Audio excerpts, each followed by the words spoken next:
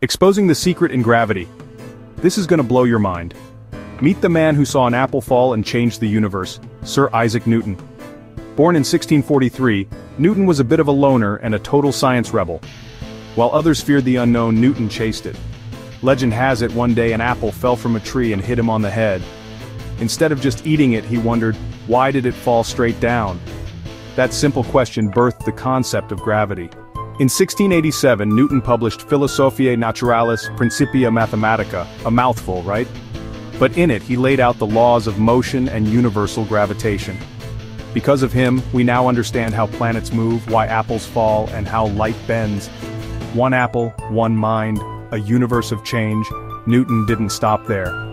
He invented calculus, studied light and optics, and built the first reflecting telescope. He even ran the Royal Mint and fought against counterfeiters. Yep, that's Sir Isaac Newton to you, knighted by Queen Anne in 1705.